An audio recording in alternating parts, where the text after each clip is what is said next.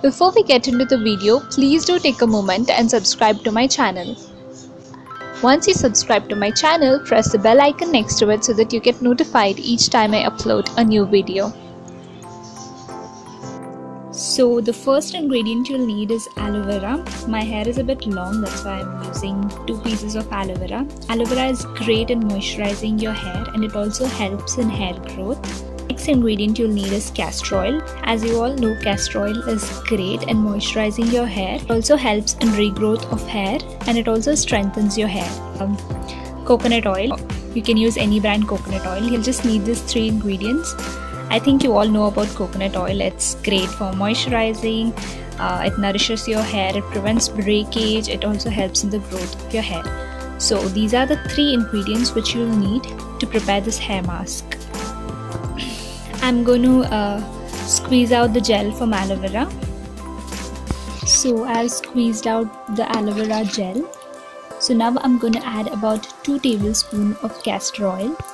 Uh, my hair is a bit lengthy that's why I'm adding 2 tablespoons of castor oil. If your hair is short or medium length I think 1 tablespoon will do.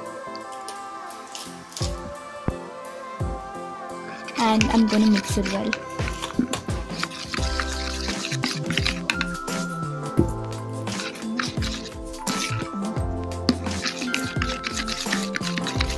I'm going to add about um, 5 to 10 spoons of coconut oil. My hair is a bit lengthy guys that's why i'm taking so much of oil. If your hair is short you can just take the oil depending on the length of the hair. I'm adding the coconut oil to it. Add as much as your hair requires.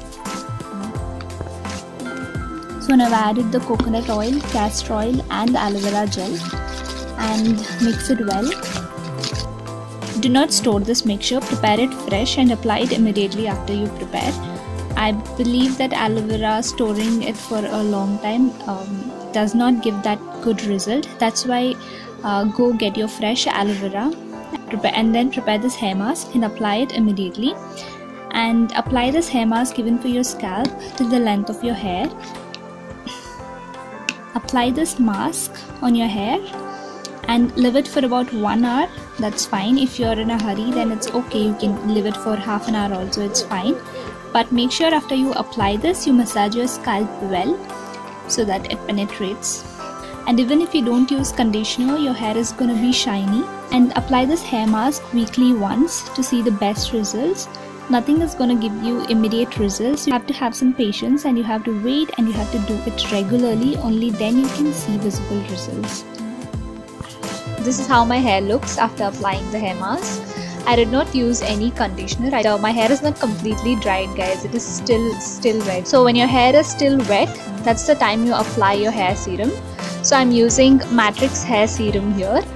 In case you want to try out this hair serum, I'll leave the link down in the description box. You can buy them. Then spread the serum on your palm and apply it from the mid length of your hair till the end. Apply the serum when it's wet and then just comb your hair and let it dry naturally. Do not use any blow dryer.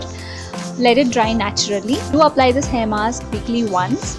Only then you can see hair growing and your hair becoming shinier day by day. If you like this video then please do not forget to subscribe to my channel and do not forget to follow me on Instagram